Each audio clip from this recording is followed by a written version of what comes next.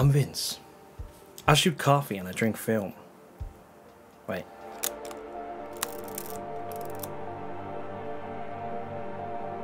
In this video, I'll be shooting a couple of film stocks on the Yashica Electro 35 GTN.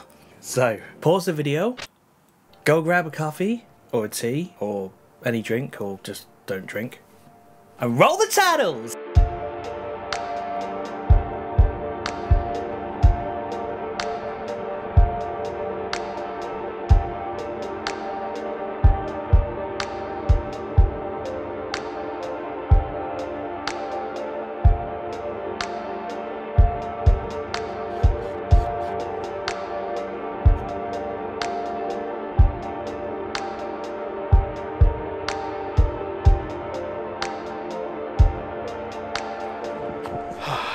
Breath because I've just gone up the steps into the woods.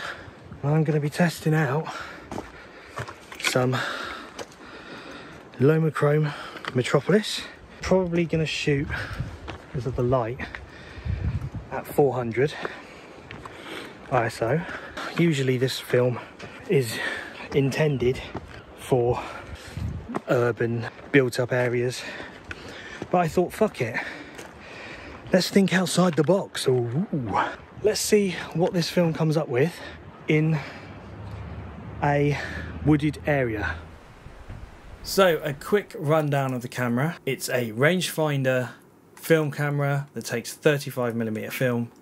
It has a 45mm fixed lens, an aperture of 1.7, which is mm, amazing.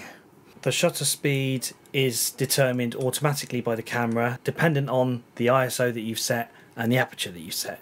The issue you have, um, because of the shutter speed only going up to 500th of a second, is that you're going to have to be stopping down that aperture in order for you not to get blown out shots. Obviously, depending on the film that you've got in there. The only indications that this camera gives as you begin to press the shutter down, you'll get one of two one of two lights come up, either slow or over. So basically, it's just telling you that you're either under or overexposing, and then you just adjust the aperture in order for no lights to show up, which means that you're correctly exposing. That's enough of being a serious. But I wanted to keep the aperture as wide as possible in each scene because I like the bokeh. I've overexposed.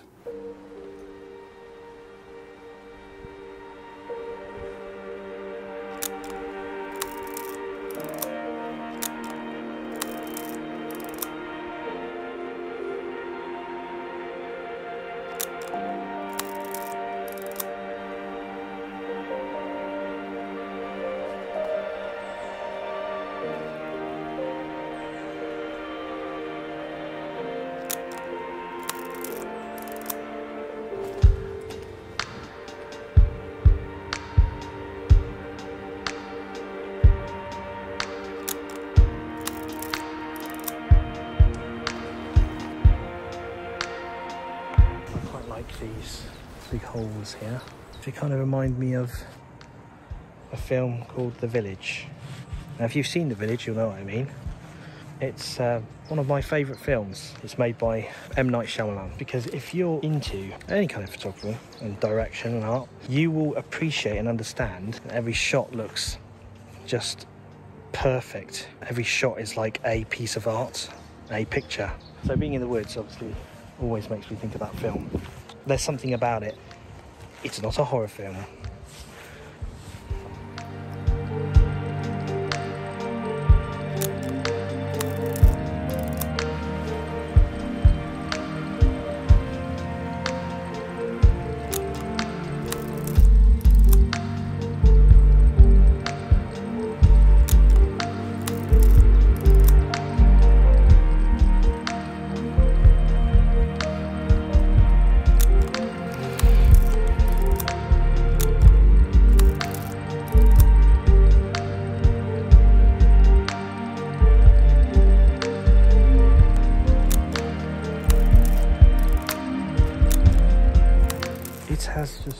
To rain a little bit, and neither the GTN or the Fuji XS10 is weatherproof.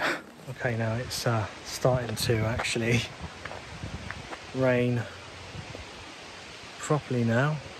I'm gonna have to put this in the bag because I don't want to fucking ruin it. It's actually, oh shit. yep, it's proper pouring down. I'm actually going to uh, just wait a second while I'm under this tree um, in case the rain gives me just a chance to just go over there. Um, here's like an ancient um, hill fort. Um, so it's got loads of rocks. I want to get over there and I want to take a shot, at least in that open area there, um, before I, before I. Uh... What the fuck was that? Oh, that's a good shot there.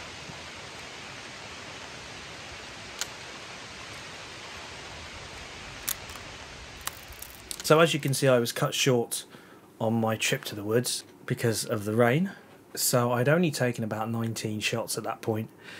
So the other day I went out, shot the rest of the Lomochrome Metropolis at Clevedon and Portishead Beach in the broad daylight, still set at 400 ISO.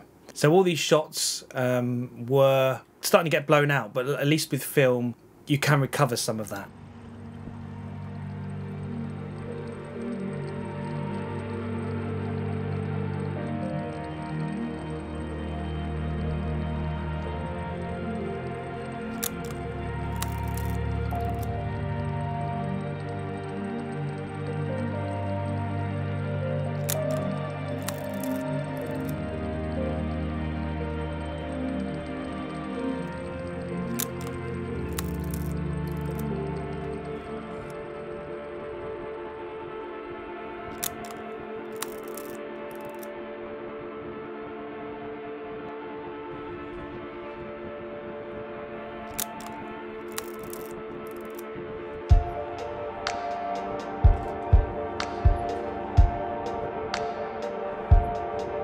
So what I noticed with this film is exactly what I expected.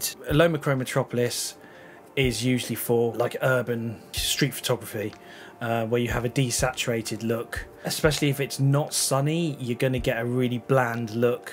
What I was impressed with this film being shot in the woods is that the greens and the browns have a really nice subtle look to them. What it's done well here is it's muted that green really nicely. That brown undertones that you can see, I really like. Again, the colours are very desaturated, but I quite like the look that this has come out with. It's quite a little bit washed out. Uh, obviously, they were overexposed as well. Luckily, with film, it's not too much of a problem because you can recover it. It's when you're underexposing where you've got a problem with all the noise and the shadows.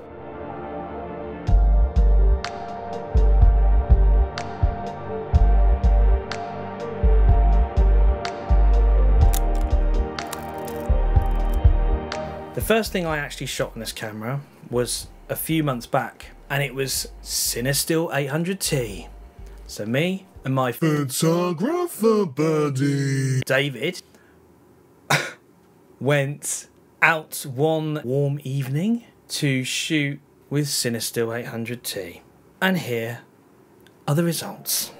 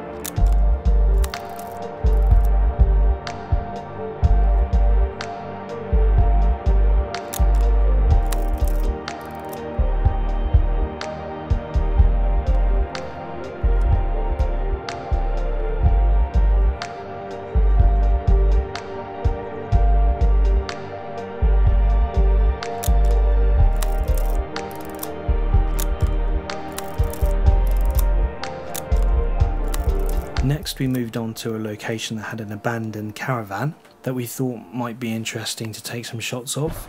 Hopefully, no one gets fingered.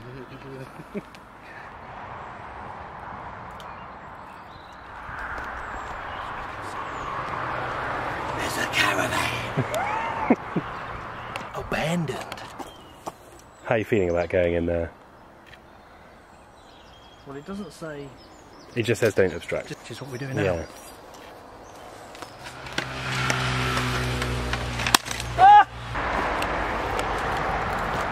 If I get fucking tetanus here from taking pictures, it's not how I'm going out.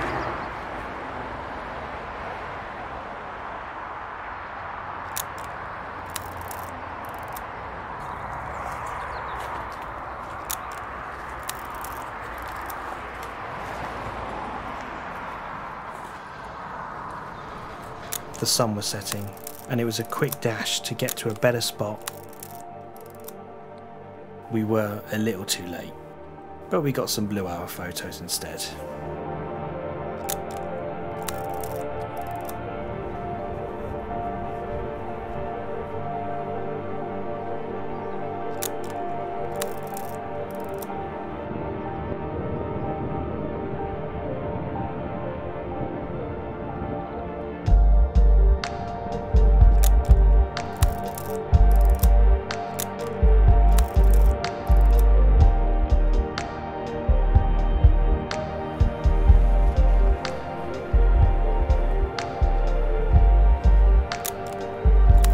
You're looking for a Leica, but you don't like the look of the price tag that comes with it, find yourself one of these.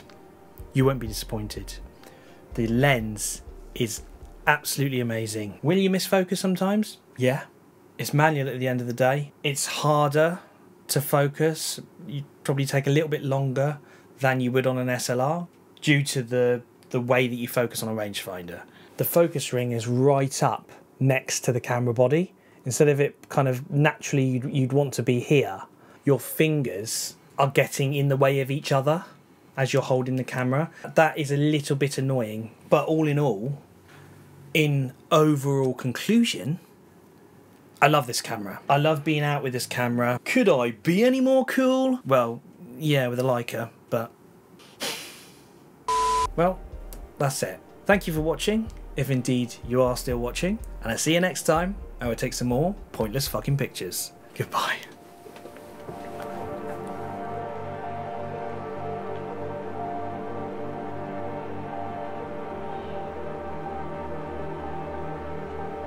We done?